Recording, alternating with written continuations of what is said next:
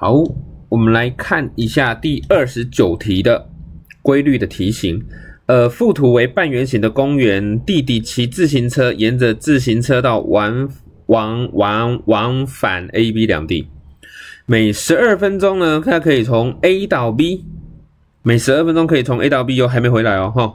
啊，姐姐从人行步道往返 A、B 两地，每十八分钟可以从 A 地到 B 地。两个人同时从 A 地出发，几分钟后会在 A 地再次相遇。这个题目尤其小心，很多孩子就会十二跟十八直接抓起来就算了。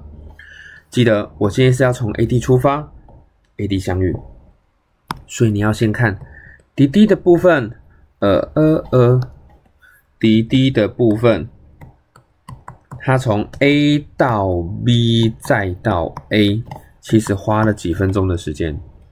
十二再加十二，它是二十四分钟。那那个姐姐呢？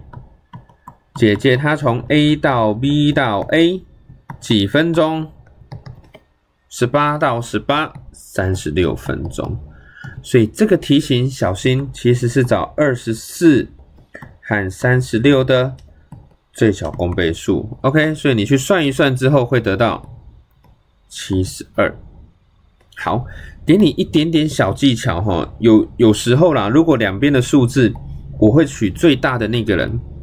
三十六除以二十四整除不了，可是三十六乘以两倍叫做七十二，七十二除以二十四可以整除，那就是最小公倍数，OK 吗？好，所以第二十九题答案是七十二分钟之后。